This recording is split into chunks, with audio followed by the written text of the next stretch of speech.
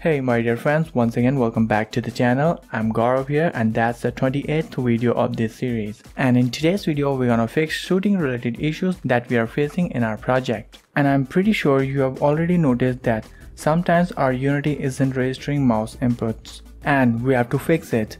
So let's get started. But before we begin, as I always say, if you are new in the channel then please check out our previous videos first. Also subscribe to the channel and don't forget to hit that bell icon, it's absolutely free.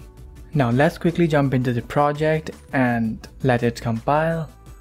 Alright, so first of all, I want to show you the problem which we are facing in our game.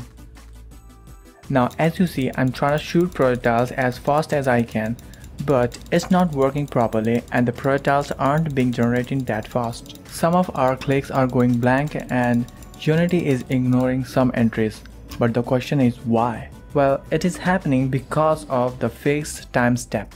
Now, Let's see what's fixed time step. And to understand this properly, let's open the weapon script and see what's going on there. So, we all know that the update function runs every frame, right?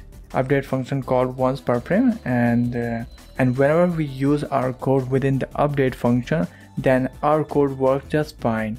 But since we are using fixed update, uh, so that's why we are facing shooting related issues and we already discussed about fixed update function in the previous videos of this series. So if you remember that the fixed update depends on time right? And it always loops at a fixed time right? Simply put it's a frame rate independent. Now here's where the fixed time step comes into play.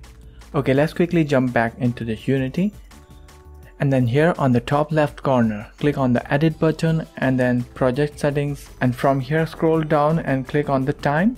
And here we can see we have fixed time step which is currently set to 0.02 which is equivalent to 20 milliseconds. So the fixed time step value is responsible for the calling rate of fixed update means is the time in between two fixed update calls. And actually we can change its values from here or via code if we need it now keep in mind that its value shouldn't be too big nor too small. Um, well, it's better not to mess with it. But for now, let's go back to the script and from here I'm gonna make a slight change in the code. As you know, right now we are shooting one projectiles per click, like click, click, click and shoot, shoot, shoot. But what I wanna do here is that whenever we press the mouse button and hold it down for a long time, then the projectiles will start shooting at a specific time interval. Are you getting deja vu type feeling like we did something similar before?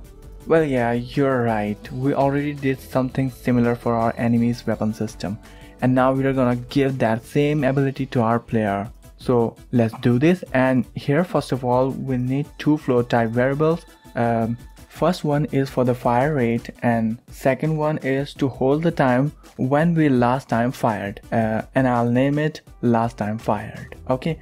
Now down here in the if statement we'll add one more condition.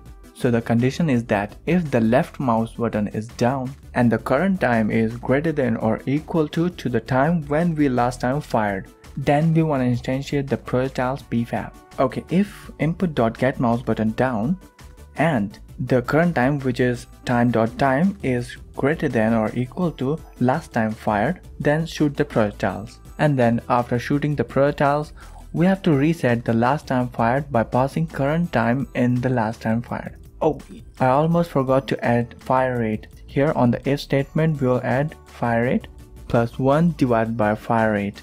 Now I'm dividing 1 by fire rate because 1 is the time period when the projectiles will be generated.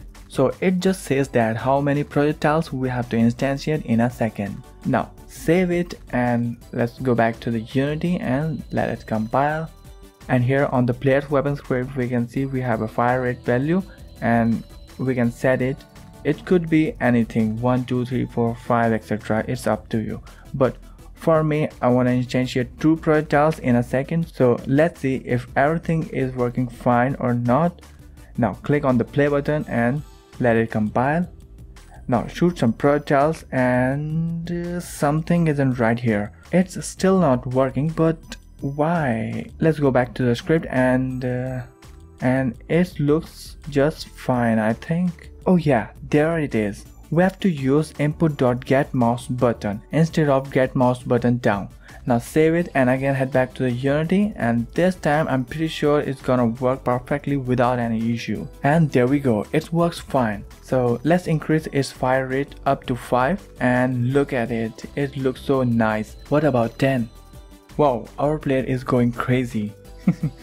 now well so guys that's all in this video. And from the next video we'll start fixing bugs in our game. And also we'll start doing some cosmetic changes uh, like decoration and game art related stuff. So till then keep learning keep practicing and i'll meet you in the further upcoming videos. For now see you later